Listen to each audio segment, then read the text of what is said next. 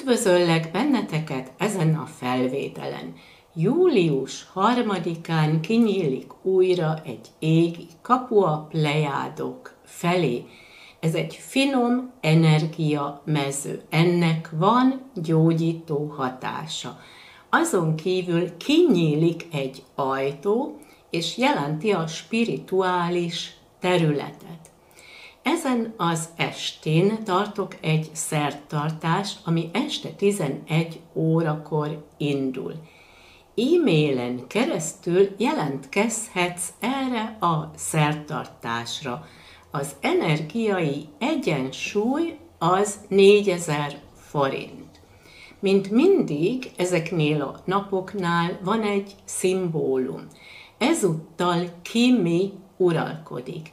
És ez a kimi jelent egy hidat, egy kapcsolatot, mint például az égi hatalom és köztünk, vagy a gondolataink és az érzelmeink között, vagy egy híd, egy kapcsolat közted és a lelki társad között, hogy ő közeledjen hozzád, hogy te elfogad az ő szerelmét, vagy te mutasd ki az érzelmeidet, és ő fogadja el ezt a kapcsolatot, hogy meglegyen ez a híd köztetek, hogy felvállaljon téged a nyilvánosságon is.